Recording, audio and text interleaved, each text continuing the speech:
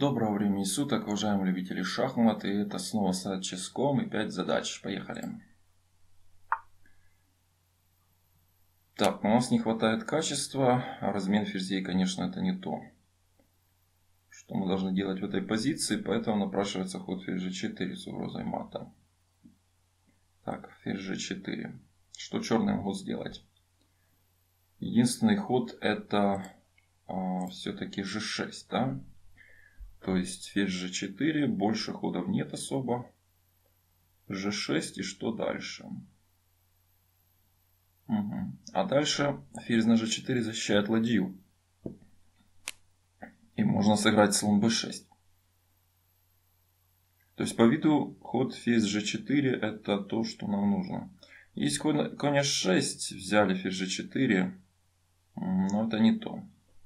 Попробуем ферзь g4.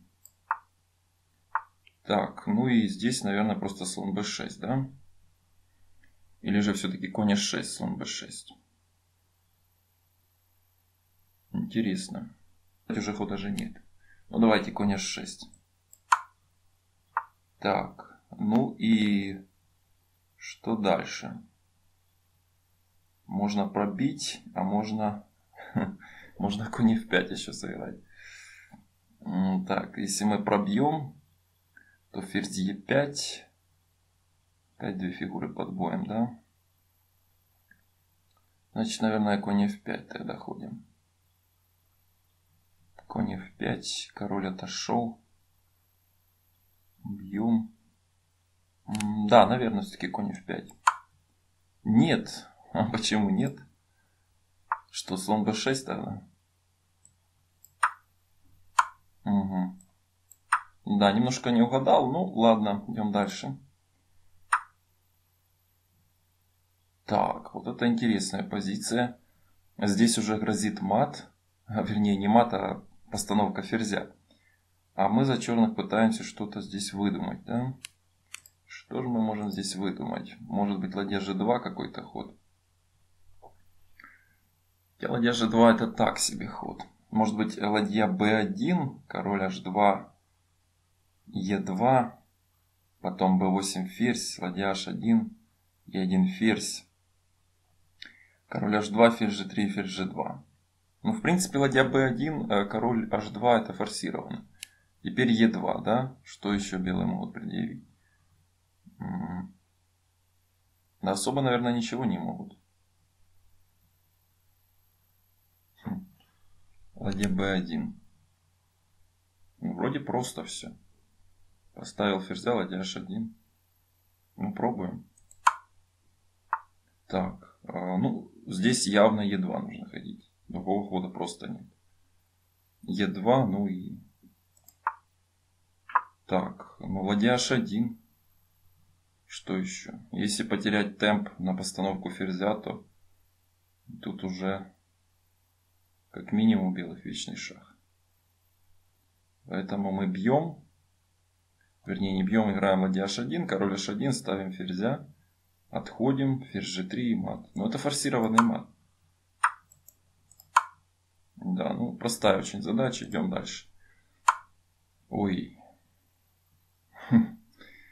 Куда отходить? А кажется, я видел такую позицию уже. Да, что-то я уже припоминаю здесь. Король g3 или король g1, такая идея уже была.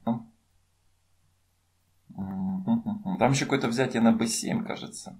Ну, давайте король g1 попробуем. Ага, конь e6. Это он пытается не дать поставить мат ему, да? То есть поля d8, f8 взял конем, здесь на e8 ферзь. Если я возьму коня, то, наверное, конь c6, и тут идеи не будет. А вот ферзь b7, тот ход, который я вспомнил. Да. Идем дальше. Так, это мы за черных, да? Это мы за черных мы пытаемся поставить мат. Так, так, так. Ферзь h5 ход есть, но что дальше? После ферзь h5 особо ничего не видно. Ладья g2. Тут как минимум вечный шаг. То есть ферзь d8 ход э, сужает очень а, выбор черных. Но может быть здесь просто защитная какая-то позиция. То есть если удастся защититься, то материальный перевес может сказаться. То есть мы сыграем ферзь h5, король отошел, ферзь h7, шах, шах.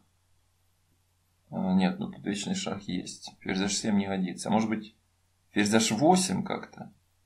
Ферзь d8, король h7, ферзь e7, ферзь g7. Взяли, взяли. Что это за окончание?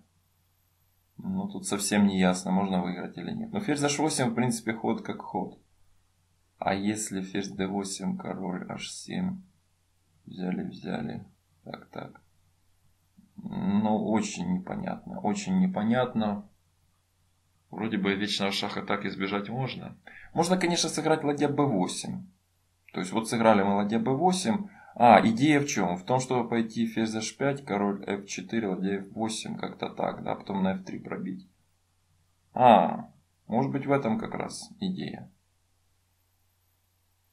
Так, а если он сыграет слон e7? Если он сыграет слон e7, то что? Ферзь h5, ферзь h5, король f4. Дальше. Если мы сыграем g5, король e3, то, то ладья b3. А если король f5, то ферзь f7, слон f6, ну и ладья f8, да? Но ладья b8 вроде бы как ход тот, который нужен. Мне так кажется. Надо бы его проверить. Ладья b8. Ну давайте рискнем немножечко. Нет, не то все-таки. А что же здесь то? Может быть шах сначала, а потом ладья b8. А, это, наверное, точнее, да. Да, видите, поспешил, поспешил, конечно. Поспешишь, людей насмешишь. Ну ладно, идем дальше.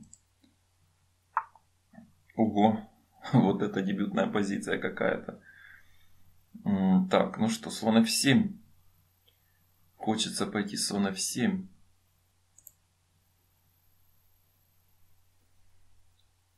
Итак, слон f7, король f7, конь e5, король e6 страшно, если король g8 и сыграть э, ферзь h5.